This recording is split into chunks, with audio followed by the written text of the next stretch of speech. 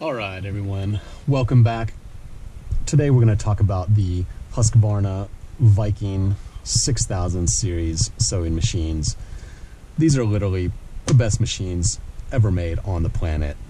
All internal metal gearing, everything's super solid, does everything that you need from a sewing machine, and they don't make them like this anymore. So this machine's going to be up for sale on eBay soon. This is going to be your chance to get one that's fully restored. Everything works as it should. Only flaws with this machine are just a little bit of chipping to the paint and a little bit of cracking to the plastic cover on the back, which is glued back together now. Um, but again, a couple of the features of this machine. Um, one, it can do a variety of stitch patterns if you have the cam set that plugs into the back here. This can do straight stitch up to a six millimeter length and four millimeter zigzag.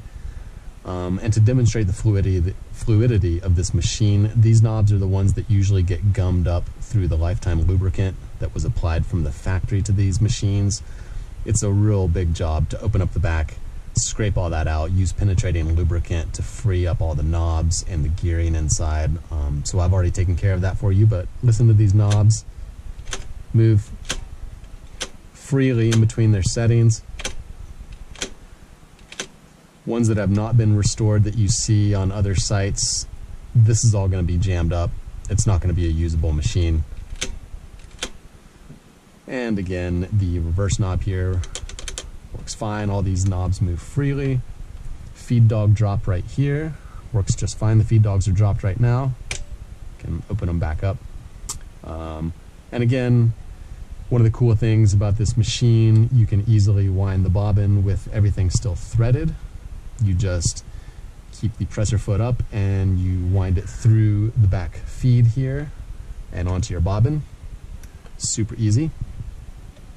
Um, so I'm going to demonstrate the sewing capability of this machine through some thick nylon webbing here.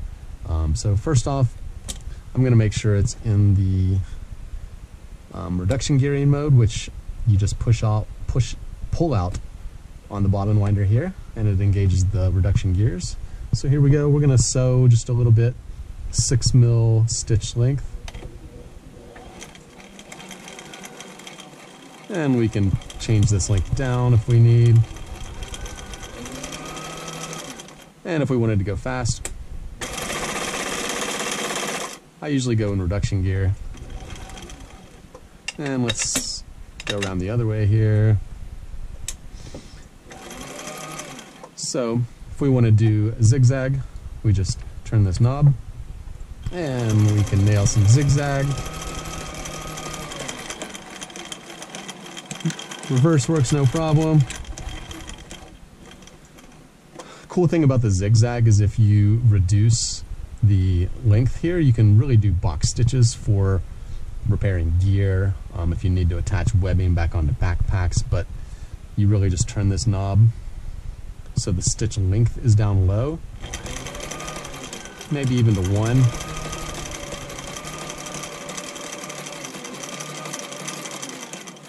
Let's see what that looks like. So, oh yeah, you can see how everything slowly got denser here. Really cool to be able to do that and repair your gear at home. Um, one other thing I want to show is that this is two layers of nylon webbing we've been sewing through.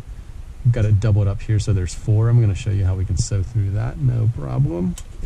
So again, oh, I'm taking it out of zigzag. Let's get some stitch length in there.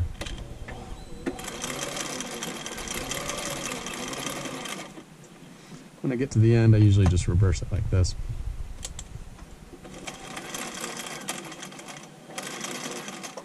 No problem. So check this out.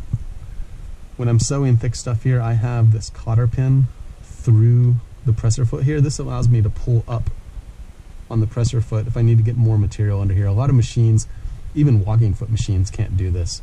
So anytime I finish a stitch, I engage the feed dog drop so I can, the feed dogs aren't gonna score the material when I pour it out. And here we go, cut that off